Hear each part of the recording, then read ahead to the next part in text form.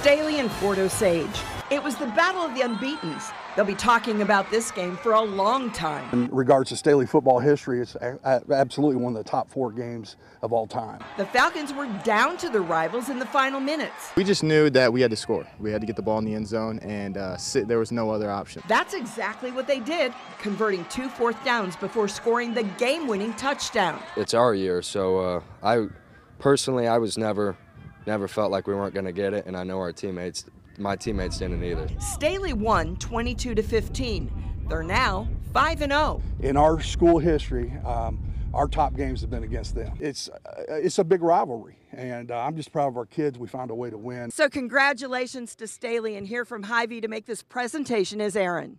Congratulations, Coach, on being this week's Channel 9 Hy-Vee Team of the Week. On behalf of Staley Falcons and Staley Nation, we greatly appreciate this award. Thank you. All right, guys. Hey, let's go bring it in! Hey, give me the three! One, two, three! Champion!